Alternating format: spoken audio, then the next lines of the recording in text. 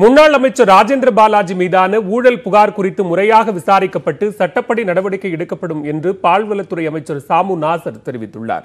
News eighteen Tamil Nadu தொலைக்காட்சிக்கு பிரத்யேக பேட்டி அளித்த அவர் அதிமுக ஆட்சியில் பால்வளத்துறையில் காலி பணியிடங்களை நியமனம் செய்தது மற்றும் ஆவின் உப பொருட்களை விற்பனை செய்தது போன்றவற்றில் பல கோடி ரூபாய் ஊழல் நடைபெற்றதாக குற்றம் சாட்டியுள்ளார்.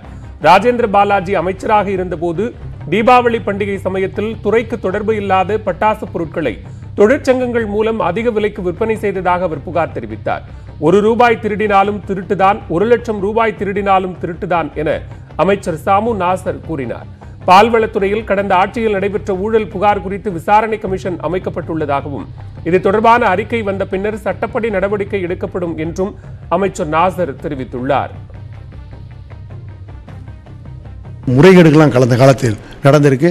இதன் மீது விசாரணை கமிஷனுக்கு போட்டிருக்கோம். இது மிக விரைவில் வந்து மேல்தட்டு விசாரணைக்கு முதல்வருடைய ஒப்புதலோடு அது அனுப்பப்பட்டு அந்த விசாரணை அடிப்படையில் நிச்சயமாக சம்பந்தப்பட்ட அமைச்சரும் சம்பந்தப்பட்ட நம்முடைய அதிகாரிகள் மீதும் நடவடிக்கை எடுக்கப்படும் என்பதை மட்டும் இந்த நேரத்தில் நாங்கள் தெரிவிச்சுக்கிறோம்.